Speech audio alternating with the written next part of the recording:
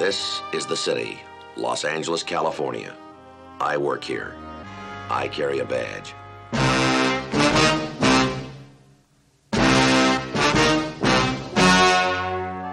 The story you are about to see is true.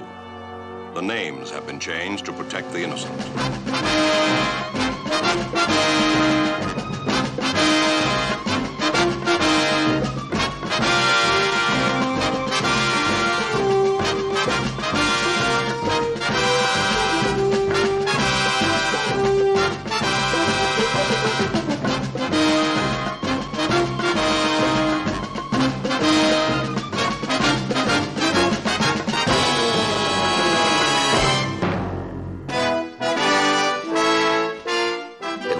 October 10th. It was cool in Los Angeles. We were working the day watch out of Internal Affairs Division. The boss is Captain Bradley. My partner's Bill Gannon. My name's Friday. When any member of the Los Angeles Police Department is accused of misconduct, it's the job of Internal Affairs Division to conduct an investigation. We checked in with the acting commander of Sunset Division. An accusation had come from a man in custody at the division. His name was John Meadows. His charge against the arresting officer? Police brutality. You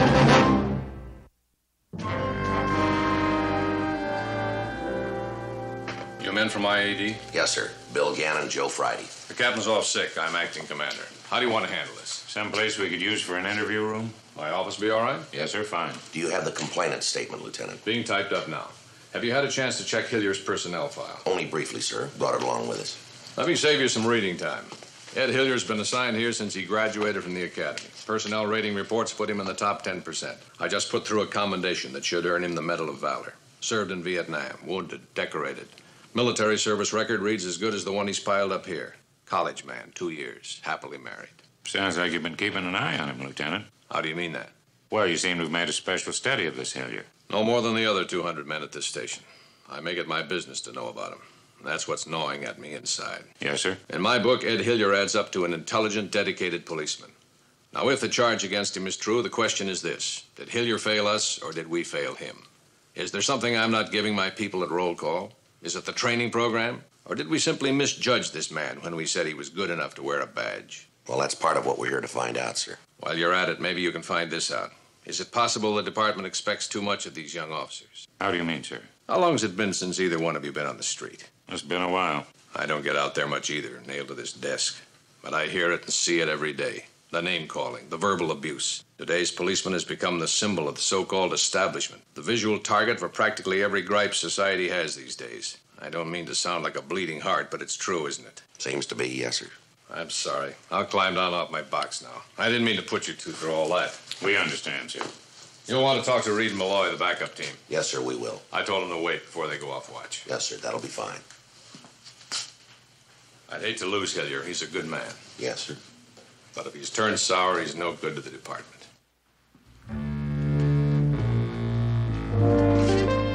9:30 a.m. Bill picked up the complainant's statement and the arrest report. I examined Officer Ed Hillier's personnel record. We asked the jailer to bring the complainant, John Meadows, to the office. All right, you want to sit down there? Okay. This is Sergeant Friday. My name's Gannon. We're from Internal Affairs Division. What's that? Well, among other things, Internal Affairs investigates complaints against police officers, and you filed a complaint. It's a pretty good deal, isn't it? Oh, how's that, sir? Policeman investigating policeman? Let me explain it to you. We're here because the chief of police cares about your complaint. So does the police commission. When we've completed our investigation here, the chief or a board of the accused policeman's superior officers will weigh the evidence and make a decision. Now, Officer Hillier, the man you've accused, could be reprimanded, suspended for up to six months without pay, or fired. Or he could be cleared of the charges. But it's still policeman passing judgment on a policeman. Regardless of what decision the department makes, you're still entitled to file whatever legal action you might care to bring against the arresting officer. Is that clear? I see. Now, as far as policemen passing judgment on policemen, wouldn't it be a good idea to wait and see the outcome before you make up your mind it's one sided? Maybe. We'll see. All right, sir. State your true name. John Everett Meadows, Jr., Your address, please. 221 Garland Street? You ever been arrested before? Yeah, four times. You want to give us the circumstances? 1951, back in Omaha, Nebraska. I was 12 years old. I liked ball games. Had a big thing for the left field fence. The management couldn't see it. All right, Mr. Meadows. Will you tell us what happened at 221 Garland Street at approximately 1:47 a.m. this morning, October 10? I told it all once to that sergeant. We'd like to hear it again, if you would, please. All right, but first I want to make one thing abundantly clear. Yes, sir. Go ahead. I'm no kook. I work for a living. I don't burn draft cards, picket politicians, or smoke pot. I pay my bills and I pay my taxes. I just want to get the record straight, understood? Perfectly. That makes four of us. Yeah? Who's the fourth? Officer Hillier. More power to him. Okay, it's on the record. Now, you want to tell us exactly what happened? Well, there wasn't much to it, really. Not to start with, anyhow. We were having a few drinks, six of us, three couples. We'd work late at the store, Cliveden's, over on Wilshire. I'm a buyer there, men's furnishings. They were the people I work with. You've got their names and addresses. Good people, all of them. You say you were drinking? Well, yeah, not heavy, just to unwind. Go on, Meadows. Well, I guess we got a little noisy. The old gal next door called the cops. She tell you she called? Yeah, so we broke it up. Well, started to, anyway. Well, how do you mean? Well, the first couple left Ted Nichols and his fiancée. Their names are on your list. Nichols, wasn't he the 502? 502? Drunk. Hillier said he was drunk. That's his opinion. In my opinion, he was a long way from it. All right, what happened then? Ted and his gal got in the car. Just then, Hillier and his partner came around the corner. Ted pulled away from the curb. His foot slipped on the gas pedal and he banged into a station wagon. It was parked maybe 20 feet in front of him. Hillier was just in time to see it. Go on. Well, we heard the noise and came outside. Hillier was already giving Ted a bad time. In what way? What do you mean? Well, in what way was Officer Hillier giving Nichols a bad time? Oh, you know, bugging him for his license, shaking him down, accusing him of being stoned, the whole stupid bit. And Teddy's not even feeling good. What happened then? I asked this Hillier for his badge number. He told me to read it for myself. Well, I reached for his badge and he jumped back. Now, what happened next? Now, this is when I goofed, and I'm the first guy to admit it. Hillier's partner had Teddy in the police car. I knew they were going to take him in, and that really burned me up. I started for him. I guess Hillier thought I was going to try and get him loose. Were you? Come on, Sergeant, be serious. With two cops around and more on the way, I'm going to try and spring a guy from out of a police car? It's happened before. Well, I guess that's what Hillier must have thought. But I hadn't committed murder, you know. So how does Hillier react? Like I just machine gun City Hall, man. I don't mean maybe. He was all over me. And then, wham, down I went. Well, exactly what do you mean by down I went? Exactly what it sounds like. Hillier slugged me. Where did he strike you? Right here on the jaw. Did you request medical attention? Well, you bet I did. It felt like that cop tore my head off. What did Officer Hillier strike you with? His fist. His fist.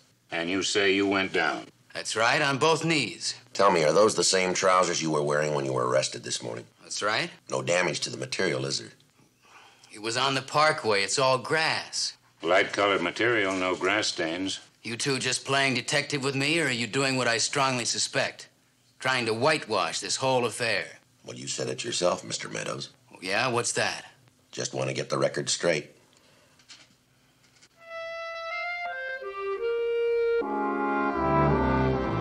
Ten ten a.m. I called Cliveden's, the clothing store where John Meadows worked.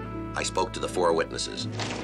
Get a hold of them? Yeah, they all said they'd be in to give us their statements. What about Hillier? On his way in. Should be here in about an hour. Backup team, Reed and Malloy, are waiting for us in the roll call room. Did you talk to him? Only to say hello. Malloy's the senior man, been on the job seven years. Reed's a probationer. Yeah. I don't know. You take a look at that Reed. Seems to me they're getting younger all the time, Joe. Or we're getting older.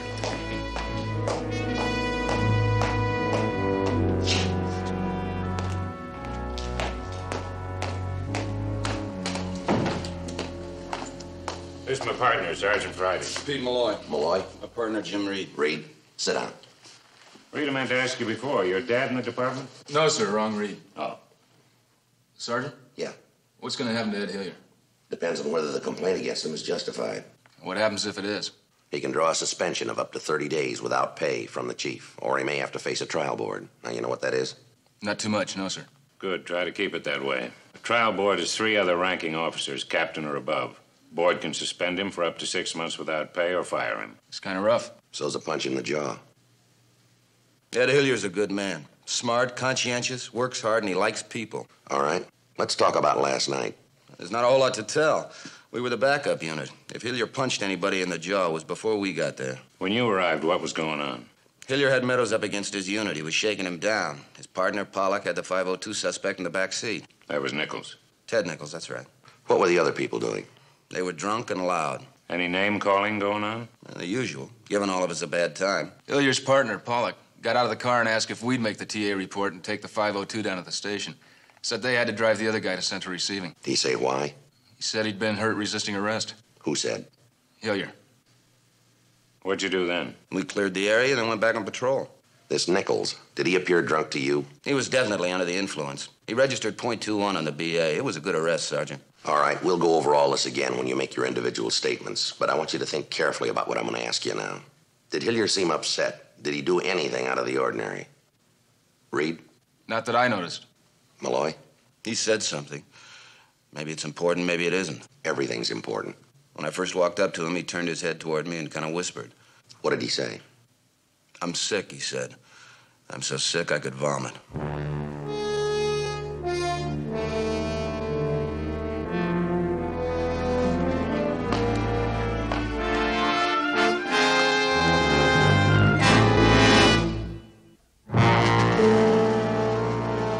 Ten thirty a.m. We talked with Officer Ed Hillier's partner, Tom Pollock, in the Sunset Division coffee room. 11 a.m. The 502 suspect, Ted Nichols, was brought from his jail cell to the watch commander's office. Nichols managed the men's sportswear department at the same store where Meadows worked. He had put up bail and was technically free to go.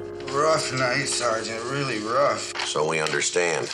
I don't know what you understand, but I'm telling you, my part of it was real rough. I drink too much, you know that? Mr. Nichols, you know why you're here?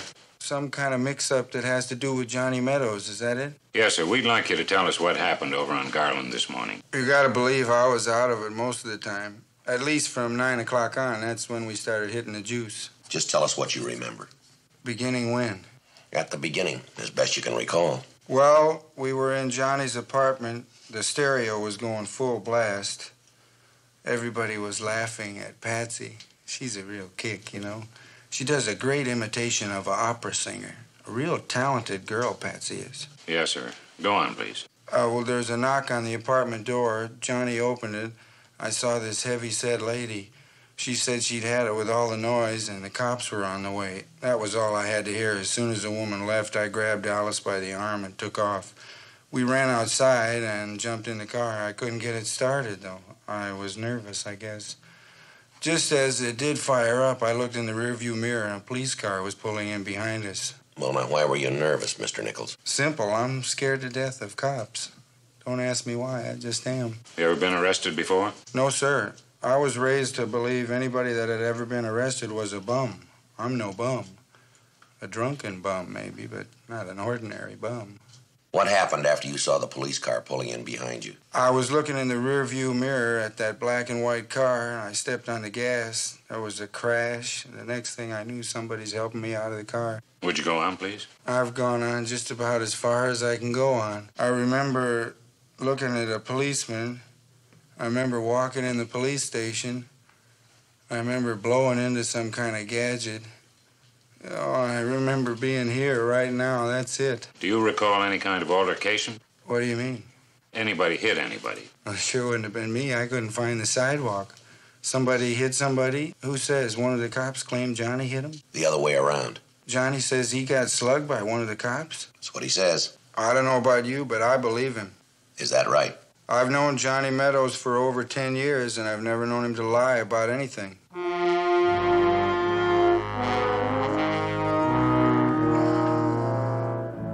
Eleven forty a.m. Officer Edward W. Hillier reported in for his interview. He told us substantially the same story that we had gotten from his partner and from the backup team, Officers Reed and Malloy. Hillier had been removed from field duty and placed on station duty pending the outcome of the IAD investigation. We asked the suspect and his passenger to get out of the vehicle. They complied. My partner started to interrogate the woman passenger. I asked the suspect for his driver's license. His name was Ted Nichols. We didn't try to give him the field sobriety exam. He was so drunk we were afraid he might fall down and hurt himself. At this point, I heard loud voices and I observed four people, two men and two women, approaching from the duplex at 221 Garland. The person doing all the talking was a man named John Meadows, who we later booked for interfering due to the fact that he grabbed my partner's arm and tried to prevent him from placing the 502 suspect in our unit. You say Meadows was doing all the talking. Exactly what did he say? Well, the usual things, you know. Tell us. He called us the Gestapo, fuzz, stormtroopers, usual things you hear. Said we had no right to shove his friend around, that he, Nichols, didn't do any damage to the Ford wagon. Was there any damage? Yes, sir. The rear bumper guards were sheared off and the left rear tail light was smashed. All right, Hillier, go on. Well, this Meadows asked me for my badge number. I put my thumb behind the shield and turned my light on it. He reached out to grab the badge. I told him not to touch it, but to take down the number if that's what he wanted. He made a grab for it. He got the fingers of his right hand around the badge. I twisted away to my left, breaking his hold. I heard my shirt rip. That's when he said it. Said what? Called me a pig cop. Said all cops were filthy pigs and their wives were sow belly pigs. Those were his exact words? Yes, sir, his exact words. Sergeant, before I put that uniform on, nobody ever called me a pig before. Nobody. My wife either. And I'm tired of hearing it. What happened then? I told him I was taking him in for interfering with an arrest. He said, try it, pig. And that's when it happened. When what happened? I backhanded him. Show us how. I'm Like this, with the back of my right hand. Where'd you hit him? Across the right cheek, lower portion of his right jaw. Did you cut him? No, sir, I didn't. He said he was hurt, so we drove him over to Central Receiving. You can check his MT slip. No visible injury. All right, Hillier. Anything else you want to add? What else is there to say? I'm cooked and I know it. Let me ask you something, Hillier. Yes, sir. Why do you think you struck that man? You're a good policeman, outstanding record on the job, and you know better, don't you? I guess. You guess or you know? Well, I'll tell you what I know, Sergeant. Lately, I've taken everything from verbal abuse and threats to being hospitalized by a guy with the DTs.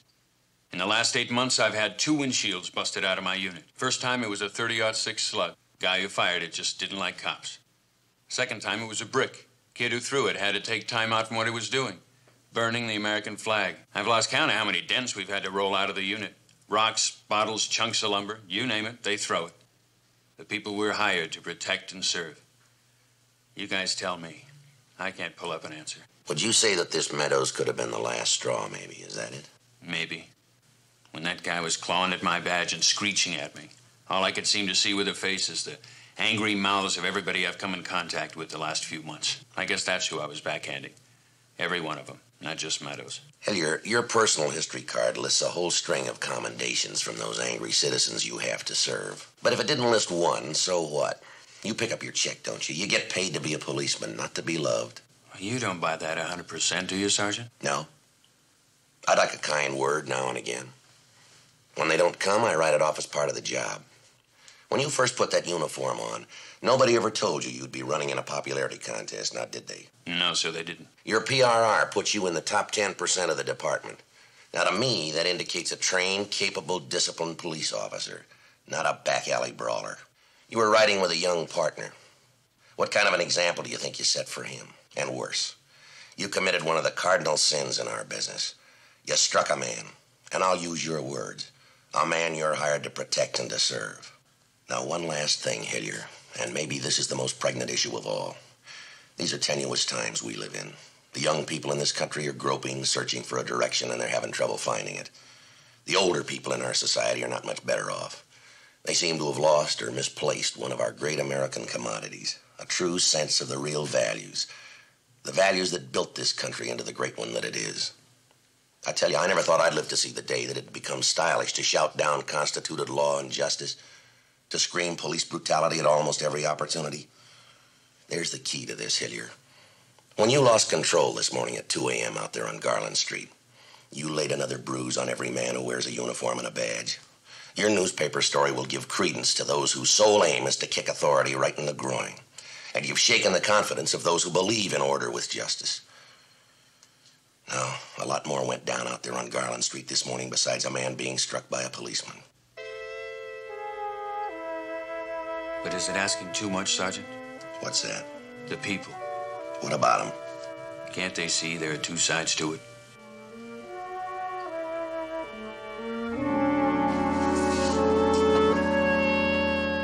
Twelve noon. Officer Ed Hillier's wife asked if she could talk to us. Can I get you a cup of coffee, Mrs. Hillier? No, thank you. I'll make this as brief as possible. I know you men are busy. Take your time. We're not that busy. Thank you. I'm scared to death. I really am. There's no need to be, Mrs. Hillier. I feel that Ed's whole future is at stake. Please don't let him be fired. Please. Well, it isn't up to us, but he'll be given a fair hearing. I brought this. I thought it might help prove Ed's story. He thinks it's a blouse I'm taking back to the store. Open it, please. That's why I wanted to talk to you. Ed said he didn't think it would make that much difference, but I hope it will. Ed's shirt? Yes, the one he wore last night. You can see it's torn there where he wears his badge. Yes, ma'am. Well, that proves he's telling the truth, doesn't it? We're not questioning his truthfulness, Mrs. Hillier. Ed's a good policeman, Sergeant. Yes, ma'am. He's never made a mistake before. This was a big one. He mustn't lose his job. It's his life, his whole life. That's all there is to it.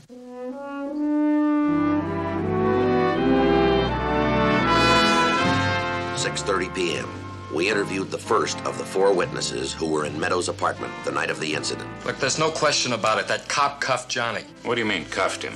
Like this it was, with the back of his hand right across the face. He gave him a good whack. Was there any provocation for Officer Hillier striking Meadows? How do you mean? Was there any name calling? Not a word. That cop just hit him for no reason. The next witness was a clerk at the store.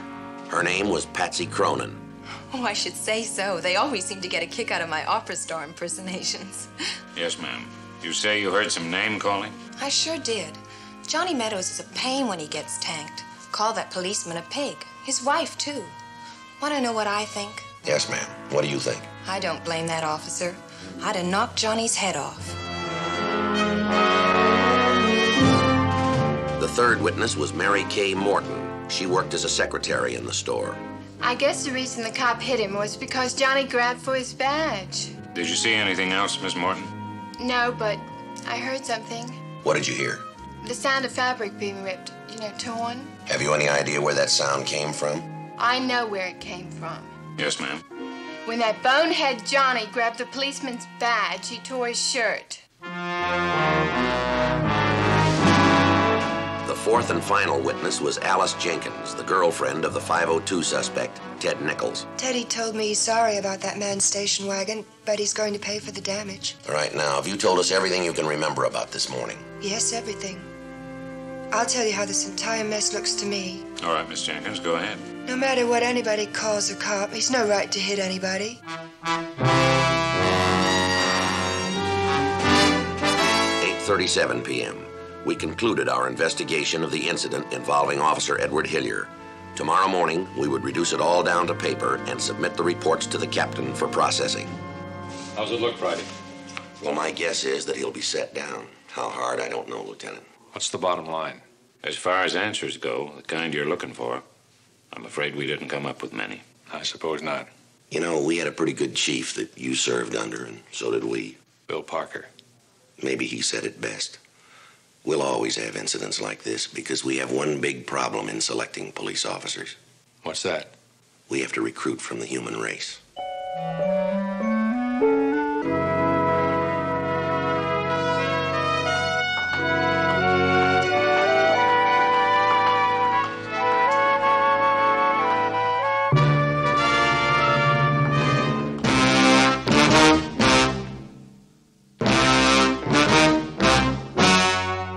Story you have just seen is true. The names were changed to protect the innocent. On October 20th, John Meadows pleaded guilty in municipal court, City of Los Angeles, to the charges of interfering with a police officer and resisting arrest, both misdemeanor offenses.